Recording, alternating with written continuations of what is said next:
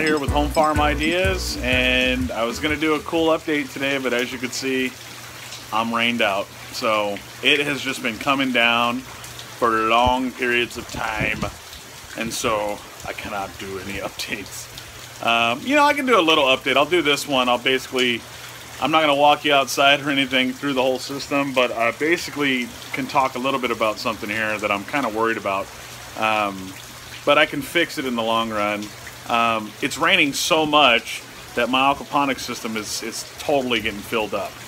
And so I'll show you the sump tank in a minute to see where we're at with the level. I just got home from church, so I want to check it out and see how high it actually is. But um, as you can see, it's raining, and I wanted to do an update on my new ZipGrow towers, and I can't today because, and I'm really like wanting to get it done, but I can't today because it's completely pouring. I mean, the floor out here and everything, like on my patio is drenched. I'll give you a little video of that right now. So anyways, let's uh, do a little bit of a, an update here on the, you know, the water levels in your aquaponic system and how, it, you know, rain is a good thing because it can bring the pH down of your system, but um, at the same time, it kind of dilutes, you know, anything you've added to the water like iron or, or whatever. So anyways, let's get to uh, showing you a little bit about that and the something. All right. So yeah, this is my patio. This is a covered patio. And the water has just overflowed. That's a little planter bed down there. And that has just overflowed as well. And it's just lots and lots and lots and lots of water. Um, the good part about this is that, um, and I'm sure most of you around this country and possibly other countries know that California has been in a severe drought for a long time now.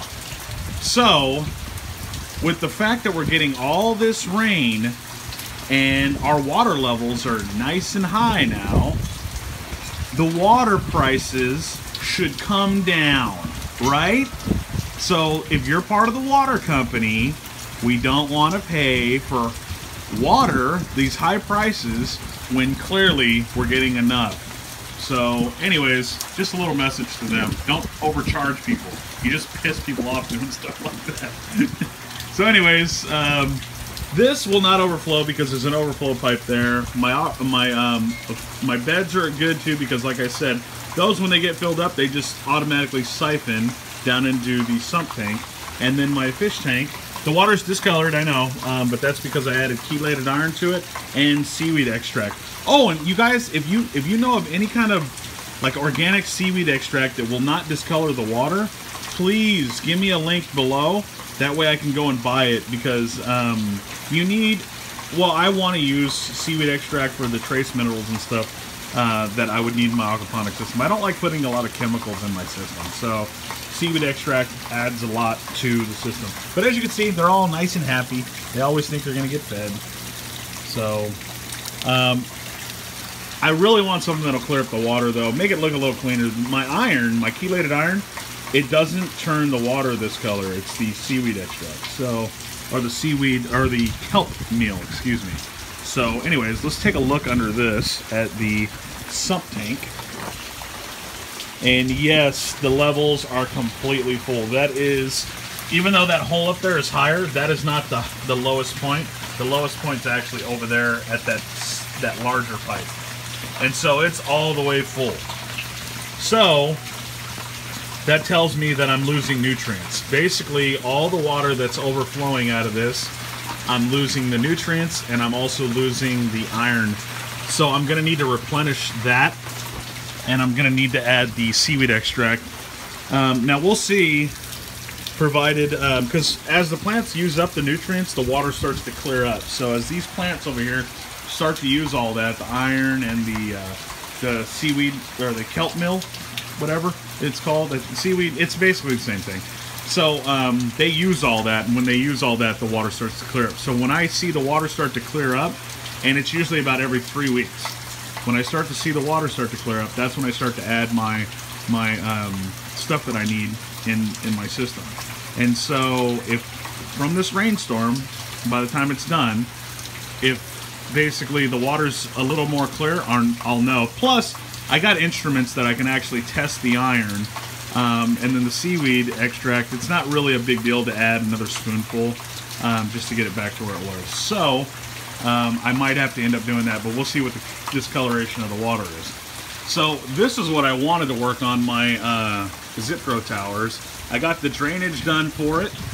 Um, yeah, you guys haven't even seen this yet, I don't think. I got the drainage done for it. It's a rain gutter that goes from there, and it's it's kind of slanted, so it goes down, then it's underneath this tarp, and then it comes back into the sump tank. So I'm going to be hanging my ZipGrow towers up here, but I need to add a board across there to kind of tie it all together.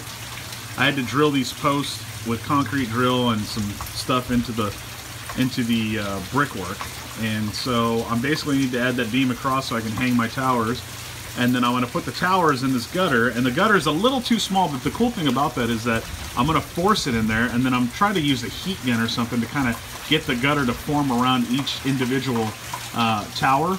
That way when I seat when I put them down they'll seat right down into that okay?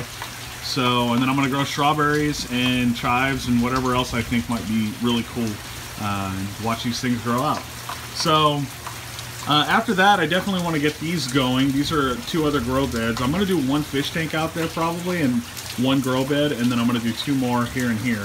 And um, same thing, uh, one fish tank, one grow tower. Because I want to breed Orandas and um, Oranda goldfish and um, Ranchu goldfish. I just think they're just the coolest looking things. And I've had a lot of luck selling um, believe it or not, aquatic plants. I'm growing these right now, and by, you know, by uh, spring, I'll have this almost this whole thing just full of these uh, uh, frogbit. So, anyways, um, just a, just a little video to kind of show you guys where I'm at and what I can and cannot do today.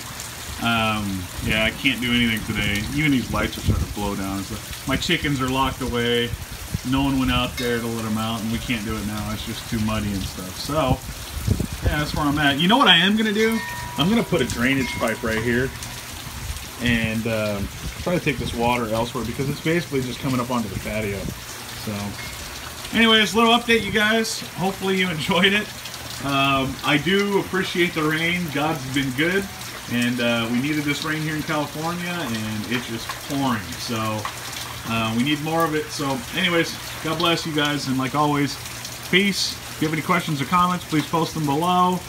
And uh, I look forward to hearing from you guys. I like talking to you guys, so post any comments you got, all right? Later.